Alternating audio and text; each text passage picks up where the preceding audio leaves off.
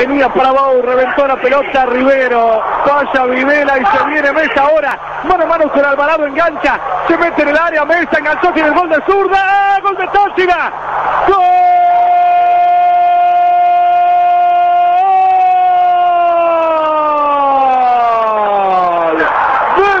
Señoras y señores, lo hizo José Mesa a los 29 minutos del primer tiempo, en el mejor momento del equipo venezolano, en el peor momento de Racing cuando no podía siquiera agarrar la pelota, golazo de Mesa, dice el número 17, dice José Mesa, que gana Táchira, que pierde Racing por 1 a 0.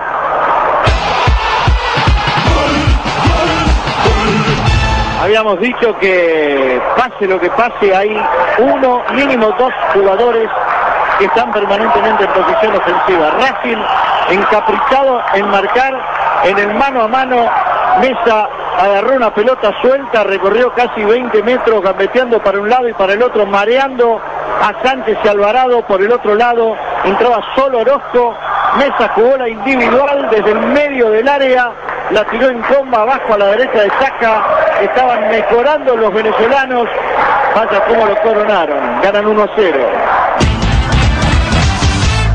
Mano a mano se queda Racing defendiendo atrás. Cabeció Alvarado, mete el maestrisco, se va Mesa, se va para el segundo, cara a cara contra el y tiró de zurda, gol, gol.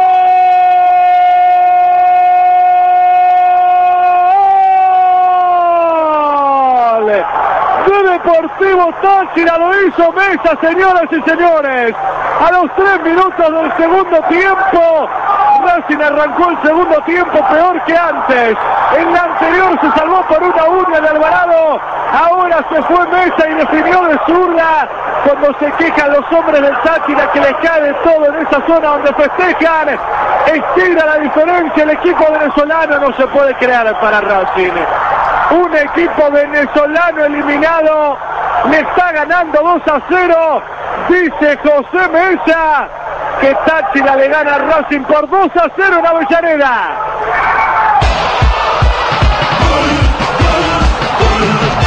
Hacía segundos que habíamos dicho por qué queda tan jugado atrás.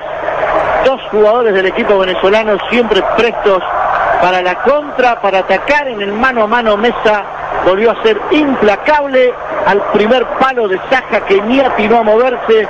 2 a 0 gana el Táchira. Difícil, complicado lo que se le viene para Racing en el partido. La perdió Cerro. Lo termina barriendo por allí. Devuelve largo Mosquera. Ya voy a Perusa, pregunta y novedades. Informa Sanitario Jaona.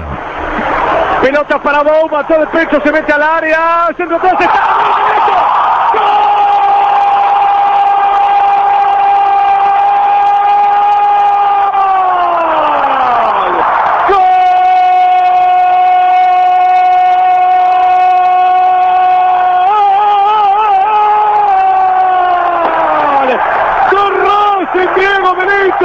Tenía que aparecer, poquito había hecho, pero allí estaba debajo del arco para empujar la única que tuvo el Racing en este segundo tiempo.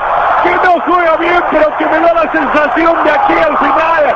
Lo va a jugar a corazón abierto. Herido orgullo. De Nivelo sobre la izquierda, tiró el buscapié. Y cuando se levanta la gente de Racing, cuando explota el cilindro de la Avellaneda, Benito empujó debajo del arco. Se cuenta el Racing, señoras y señores. 13 segundo tiempo, Racing 1, Táchira 2, lo dice para el descuento Diego Milito.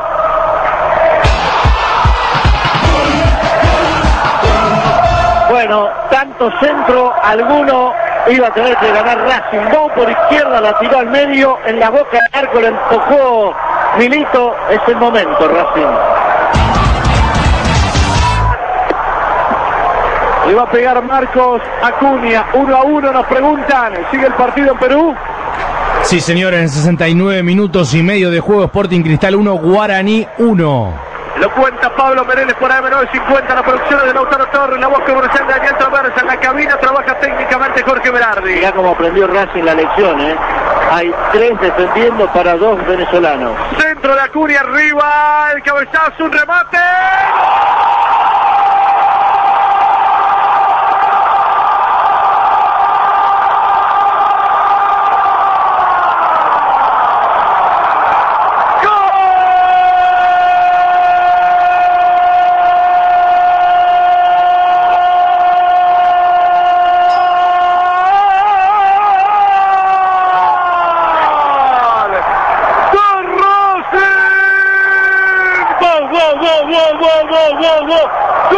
Bou lo hizo, señoras y señores.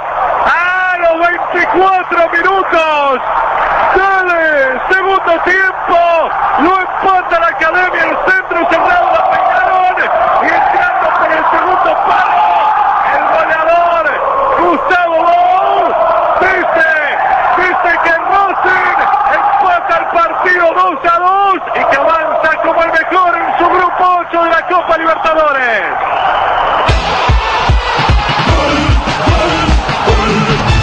Caía por decantación que Racing iba a conseguir el empate, lo decía Calomite, madura tanto que ya cayó, qué inteligente Bow. Hizo lo que suelen hacer los grandes goleadores. Nada de ir por donde hay mucho tránsito, a esperar atrás, libre. La pelota pasó la zona del área chica del otro lado, de primera, de volea, la mandó adentro 2 a 2 y Racing quiere más. Cuatro minutos más, fundamental, determinante el aporte de Pablo Mereles durante la transmisión. Queremos saber si Racing va a terminar o no como el primero en su grupo 8 de la Copa Libertadores. Le está costando mucho más de lo esperado este partido. Quedaba 2 a 0, logró empatarlo 2 a 2 pero lo quiere ganar.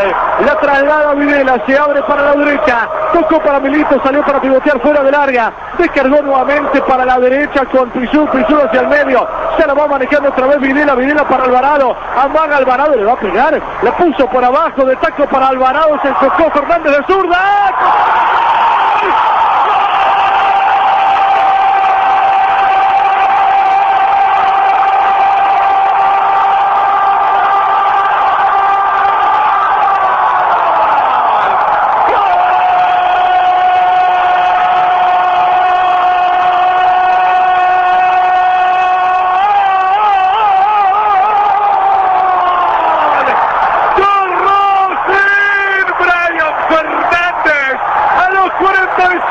Minutos de un segundo tiempo inolvidable. Siete Copa Libertadores. Siempre tuvo la sensación, Marinelli es testigo, que en algún momento este arquerito Contreras se iba a mandar una macana. Y lo hizo nomás. A los 45 minutos del segundo tiempo. ¿Hace cuánto esperaban los hinchas del Racing un gol de Brian Fernández? Habrá entrado 20 por lo menos hasta esta que y vale, vale tanto como una clasificación como mejor equipo de su grupo. Lo grita Racing, lo festeja el campeón del fútbol argentino. Quiso el destino que Brian Fernández la meta hoy en el último partido del grupo de la Copa. Racing lo da vuelta, Racing gana, Racing avanza porque dice, dice Brian Fernández que Racing le gana 3 a 2 al Deportivo Táchira.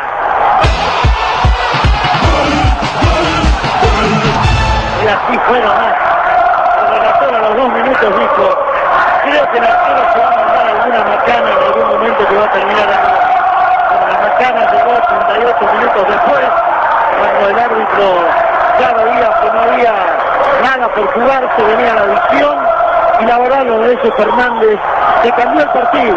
Él ha sido por clave, termina coronando con este gol de Zurda, una buena actuación suya, una gran actuación suya y una levantada de Racing que yo creo que más eh, en lo numérico sirve en lo anímico.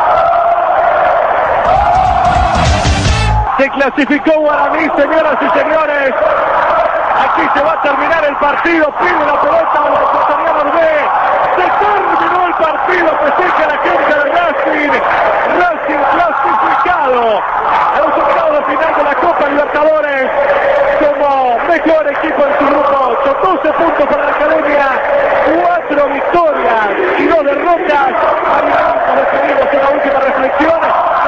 Me parece que esta celebración del final de la gente de Racing le da al equipo un respaldo muy bueno, muy grande. Racing supo cambiar el camino con un par de cambios en los que acertó su entrenador Diego Coca y los jugadores interpretaron adentro que hay momentos donde el juego que se pretende no está y cuando no está hay que apelar al corazón. Bueno, Racing metió todo, terminó ganando un partido que la verdad en algún momento estaba para una bofetada, para un cachetazo en contra. Sin embargo, el descuento de Milito comenzó a marcar el camino que terminó con esta victoria, esta felicidad y estos aplausos para despedir al equipo. Hola Palias, un abrazo grande, un beso grande también para el amigo Cianone, Berardi, en la producción Torres y Mereles. El cierre comercial de el gran Daniel Traversa y se quedan todos ustedes con la gran compañía Walter Zafarian. Puro fútbol, clasificó Racing como primero en su zona. Abrazo grande, gracias, chao. Viviste la emoción del fútbol con los relatos de Alejandro Calumite.